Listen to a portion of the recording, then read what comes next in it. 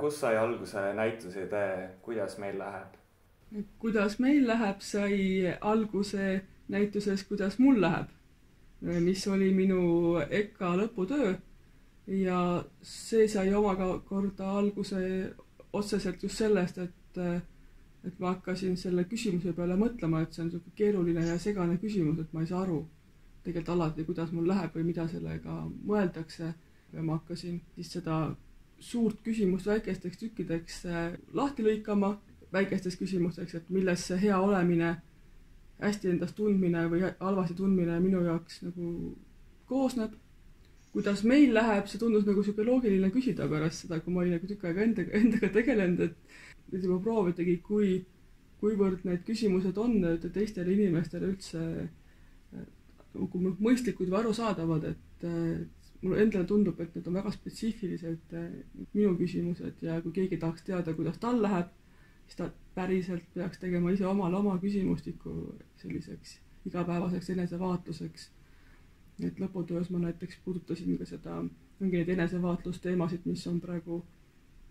personal science'i stiilis eneseuurimused, nagu et sa kogudki stati-, statistilisi andmeid enda kohta ja siis eh, proovid aru saada näiteks oma tervise kohta, kui kellelgi on mõni tervislik probleem. kust tulevad küsimused, mis vaatajale küsimustikus esitatud on? mis on nende tähendus sulle? Need küsimused on äh, nagu niisuguse pikaaegse protsessi tulemus. et kui ma alustasin kaks tuhat üheksateist äh, sügisel nende kogumisega, siis ma võtsin nad äh, noh, aluseks mingid sellised, mis mul on meelde jäänud, et äh, mingisugustest küsimustikest, äh, mis ongi sihuke heaoluga seotud, et mingi, ma ei tea, väike depressioonitest ja, mingid sellised asjad, onju. ja, ja siis äh, iga päev neid, neile vastates, ma ise vastan neile, oli alguses mingi paarsada, need on vähemalt, vähemalt nagu rohkemaks, vähemaks tulnud, et ma lisan neid juurde, kustutan ära äh,. iga päev vastates ma nagu tunnen, kas see küsimus on nagu õige, siis ma sõnastan neid ümber algselt olid nad kõik sellised läbisegi jah-ei vastused ja siis mingi hetk ma disainisin need ümber nii, et äh, jah vastus tähendab alati nagu meeldivat asja. et selleks, et kui ma näiteks vaatan sealt äh, nagu tabelist seda nullide, ühtede või mustade, valgede ruutude nagu pilti, siis on aru saada, et nagu kui ta, mida valgem see pilt on, seda parem. ega siis jällegi seal on vist näha ka seal, seal näitusel neid osasid küsimusi, mis mõjuvad nagu äh, natuke totakalt niimoodi küsimuselt, et kas sul ei olnud mingit probleemi. et lihtsalt selleks, et ma saaksin öelda jah, mul ei olnud, mul oli selle asjaga hästi. siis ma, aga noh, sa pead kogu aeg nagu vastupidiselt mõtlema sellele, et äh, ei olnud peavalu, ei olnud äh, mingit muud asja valesti. keegi ei öelnud mulle halvasti täna. kui, kui halvasti see halvasti on, et panna see jah või ei sinna ära, et sihuke. kirjelda enda kogemust veebinäituse loomisest ähm kuidas andmesisestamise temaatikaga töötamine sellele kaasa aitas või väljakutseid esitas? see kogu see äh, andmesisestamine käib, kui mul nagunii digitaalselt, siis see platvorm tundus äh, nagu justkui nagu hästi loomulik, normaalne keskkond selle jaoks. et kui ma ise kogu aeg sisestan arvutisse andmeid, siis on nagu äh, võimalik, et või noh, normaalne tundub nagu just seal veebinäitusel, et inimene saab, vaataja saab samamoodi siis seda protsessi nagu läbi mängida ja natukene nagu, ma mõtlesin, et võib-olla natukene saab tunda siis nagu mina sisestan iga päev, et ta võib ju mitu korda tulla ka iga päev sisestada uuesti ja, ja noh, vaadata ka, kuidas tema, temal läheb võrreldes teistega. ja kuna mul on see pikaaegne äh, programmeerimise kogemus, siis, äh, siis see on ka minu jaoks selline hästi kodune nagu meedium on just see internet, siis seal teha neid küsimustikke ja ja noh, see jah, see on nagu loogiline koht selle jaoks. et kui ma võrdlen näiteks tavalise galeriiga, kus siis peaks inimene minema hakkama arvutit, arvutiga suhtlema, siis äh, kõik alati ei taha neid arvuteid seal üldse näha, et see on nagu tahaks näha siis seal nii-öelda füüsilises keskkonnas füüsilisi asju või midagi muud kui, kui seda internetti jälle. aga selle nurk või noh, raske külg on minu jaoks äh, on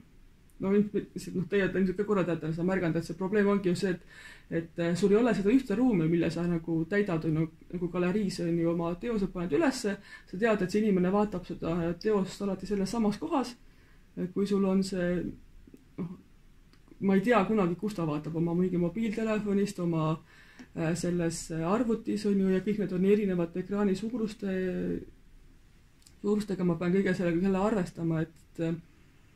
et sa, kuidas see nagu mõjutab seda tema kogemust ja, ja siis need tehnilised üksikasjad, mõelda näiteks näituse kontekstis spämmirobotite peale ei ole mul nagu see natuke esimene kord vist, et ma olen mõelnud sellele, et kui keegi saab midagi sisestada, siis võib keegi alati sisestada midagi, mida ei peaks sisestama. ja, ja see nagu mõt-, noh, viib mõtted nagu tehnilises mõttes natukene sellelt kunstilt nagu kõrvale võib-olla kõik internet, kõik muud tavalised veebilehtede probleemid tulevad äh, selle veebinäitusega koos siis. räägi natuke, missuguseid temaatikaid sa plaanid edasi käsitleda oma kunstis? ma maalin pilvi ja, ja samas see tundub täiesti teistsugune asi võrreldes sellega, mis mul see veebinäitus on. Ja minu jaoks on see hästi äh, loogiline jätk, sest et, äh, et kui vaadata seda mustade, valgete, nende ruudukeste kogumit, siis noh, erinevate inimeste puhul võib-olla ei tule neid suuri siukseid sarnaseid plokke väga palju, aga kui ma oma andmed, oma, kuna oma andmeid kogun ka ja, ja nende põhjal teen ka pilte, et siis seal tulevad rohkem välja sellised ühtlased sellised suured kogumid, mis meenutavad mulle pilvi või muid siukseid looduses kuidagi juhuslikult tekkivaid selliseid mingeid nagu siukseid mütakaid, ma ei teagi männi oksase niisugune puuvõra, mingi selline ümarkuju või merelaine kuidagi sihuke piklikult, üks sihuke vahune hari. et, et sellised, ja siis need pikslikohumid, nad on kuidagi sarnased minu jaoks ja, ja samamoodi pilvedes otsitakse ju nägusid ja tähendust, mõned otsivad, on ju, niisugused romantiliselt otsivad seda ja mina vaata otsin oma andmetest tähendust ja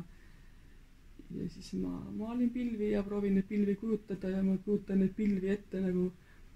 natukene sarnased sellele, kuidas mulle endale ujub mingisugune